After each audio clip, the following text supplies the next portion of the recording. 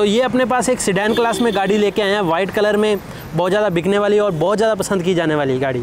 बताइए सर इसके बारे में। सर, ये होंडा की लग्जरी कार है होंडा सिटी ये सेकंड टॉप मॉडल है Honda V Honda City V model इसके अंदर आपको लगभग सारे फीचर आ गए, जैसे कि AC heater power steering power window चारों power window centre locking inbuilt stereo आ गया air bag A B S alloy wheel ये कंप्लीट फीचर है इस गाड़ी के अंदर तो ये ऐसी गाड़ी है जिसमें 2014 में ये सारे फीचर मिलते थे इसलिए इस गाड़ी को काफ़ी पसंद किया जाता है फैमिली द्वारा और स्पेस भी काफ़ी अच्छा है पीछे अपने को बूट स्पेस भी काफ़ी अच्छा मिलता है। बिल्कुल कंफर्ट गाड़ी है हाँ ये होंडा की सबसे ज़्यादा बिकने वाली गाड़ी होंडा सिटी हाँ जी। तो सर बताइए फिर डिमांड क्या है इसकी?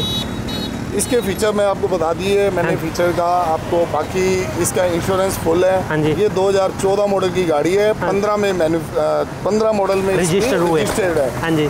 और ये चली है गाड़ी लगभग एक लाख तीस किलोमीटर के लगभग चली हुई हाँ। है डीजल की बहुत ही अच्छी कार है। हाँ जी। इसकी डिमांड हम लोगों ने रखी हुई है फाइव लैख फोर्टी थाउज़ेंड ठीक है। जिसमें आपको आपके नाम से ऑन रोड करवा के देंगे।